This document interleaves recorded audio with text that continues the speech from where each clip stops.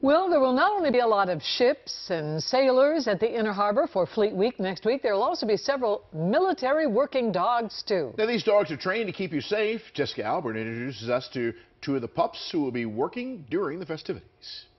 Oh, we'll get him! Man's best friend Woo! will have an important job during Fleet Week. Our military working dogs will be walking the beat alongside our uh, civilians in blue, and uh, we'll be out here to make sure that everybody's having a safe and grand time. Military working dogs, Opal and Rugby will be among dozens on hand for Fleet Week. They help provide security for the event.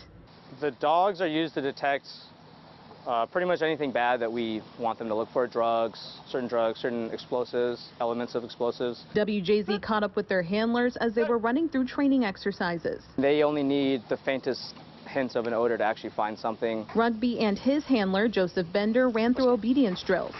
Sit. And Opal and his handler, Gabriel Gallegos, practice some bite drills, training Opal to attack if anything goes wrong. Get him! Opal, out! This is more than just a job for the handlers. I am absolutely a dog lover. These dogs become their best friends. It's the coolest job in the world. And Fleet Week is a chance for them to show off their skills.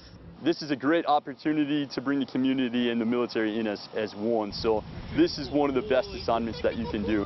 And as a reminder, as tempting as it may be, do not touch the dogs. If you see them out at Fleet Week, they are on the job. Reporting in Baltimore, Jessica Albert for WJZ.